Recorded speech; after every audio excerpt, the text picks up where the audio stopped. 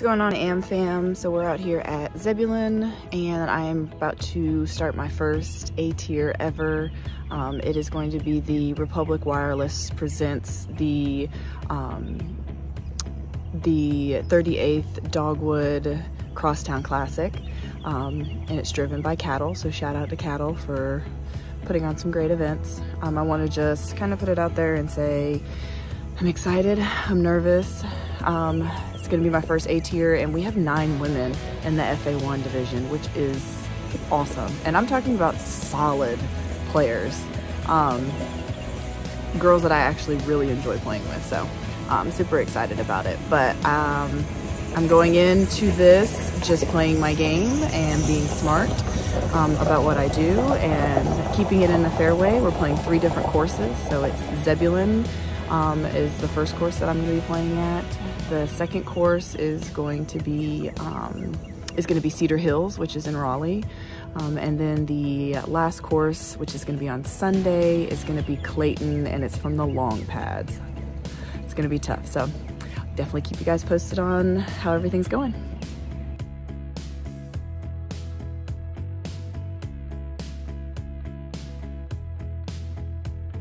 Kind of chill here and just kind of talk about what we did this round and um, some of the pros and some of the cons. I felt like putting for me was on fire. Was super strong. I'm kind of glad that all my putting practice has kind of really paid off.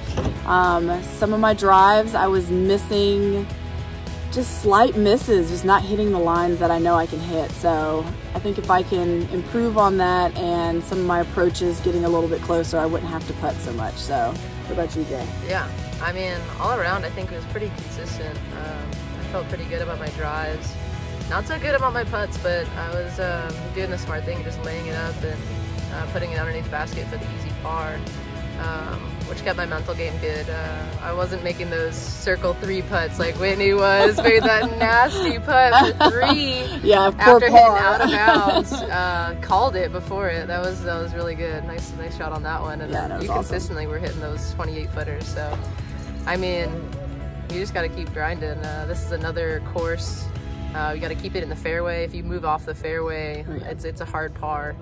Um, so yeah, Definitely. there's a fun mix of forehand dominant yes! and backhand dominant. So like seeing both of those routes and seeing 100%. them crush was like super fun. Um, yeah. Yes. So we'll see how Cedar Hills goes. Um, hopefully the weather will stay clean for us. Uh, there's supposed to be some storms coming in at 5, so hopefully we can push through and, and yeah. uh, take over the world. So catch y'all on the next round.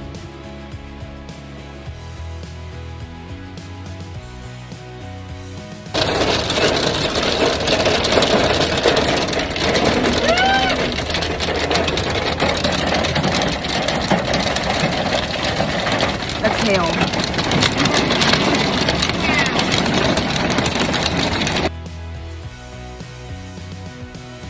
we just finished day one. Um, so I played Zebulon and Cedar Hills. So I just finished up the Cedar Hills round and Bev here played over at Clayton. Um, so we're gonna kind of talk about our round and see kind of how it was. So um, we'll talk about the hot first round. yeah, Somebody right? had at Cedar Hills today, which was uh, pretty awesome. So tell us about it. Yeah, so Cedar Hills is honestly, we were talking about on our card today that Cedar Hills can really be um, you know, you can shoot plus six at Cedar Hills, plus 10, or you can shoot minus six. Um, it can go either way. Um, if we talk about keys to uh, to my day in shooting the minus six round, which is tied for my best round that I've, I've ever shot there. Um, the experience and stuff that I've had at Cedar Hills, which is really the course that I've learned on, um, and I've probably played the most, is uh, just be clean off the tee, um, and then know know exactly um, you know what holes you should go for, for birdie for and what holes you should you know go for a stress-free par.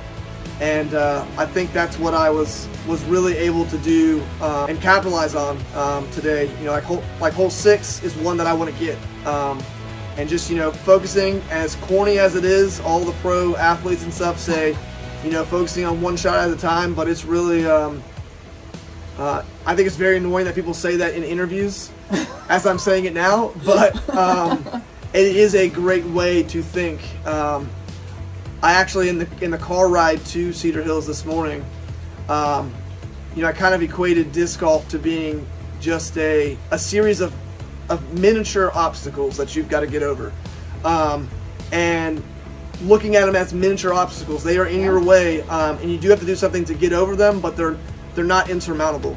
Um, and again, playing that shot by shot um, was really huge today. Um, the putter was on. I've been practicing on a, on a new putt, so that worked. Um, and then honestly, just clean off the tee. That's what it was all about at, at Cedar Hills. And so one bogey, um, and honestly, that's the putt, a high putt, and I, you know I don't have that, but I bounced back with a birdie. So it was an excellent round, probably the best. I'd say the best round of golf um, that I've played so far. So heck yeah, no, that's I mean. Cedar Hills is definitely one of those ones where if you don't hit those lines and you don't keep it in the fairway Yes. and sometimes disking down, which is probably the hardest thing I have to deal with is trying to Yes. is disking down because I automatically want to go with the disc that's going to get me the most distance. Um, but then what happens is if you get off the fairway or you get a kick, you're going to end up yes, with a huge skip off or you know worse. So um but yeah i mean first round was kind of slow starting for me. Um second round was kind of vanilla uh, but i set a game plan of playing for par. So i played for par. I ended up with two bogeys so i shot a plus two. Um and I mean it was it was a pretty good round. I mean I felt pretty comfortable. My putting this weekend has been absolutely awesome. Um, I've really enjoyed uh, the, some of the awesome putts that I made and also the work that I've actually been putting on outside of the course and at home and in my free time, sitting here putting all the time. So it's nice to actually see it pay off um, during the tournament. So I'm super excited.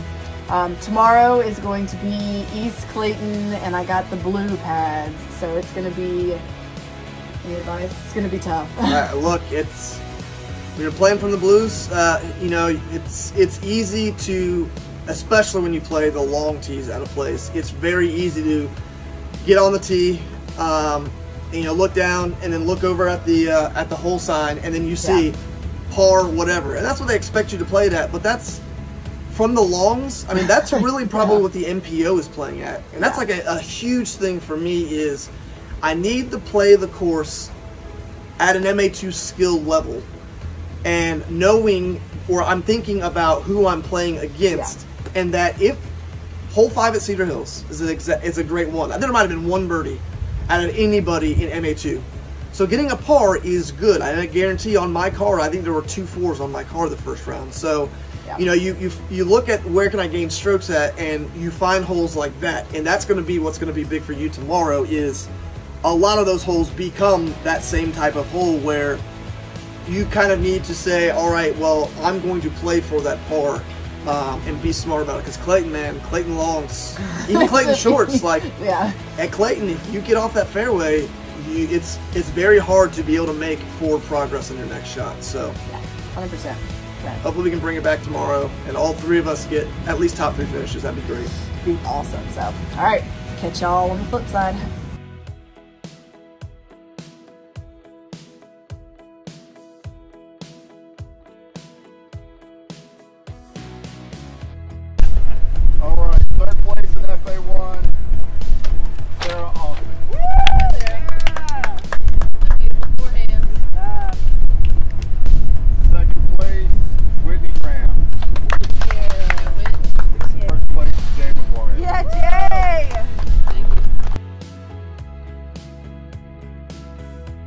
Time to kind of talk about me and my round and kind of reflect on everything that happened. I ended up coming in second place.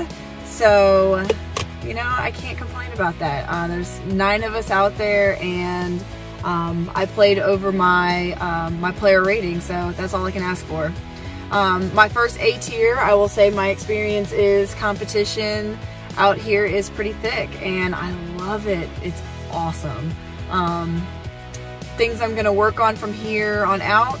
Um, I'm definitely gonna start spending more time with my mid ranges and my putters throwing um, off the tee. I think that really hindered me because I like to rely a lot on my fairway drivers.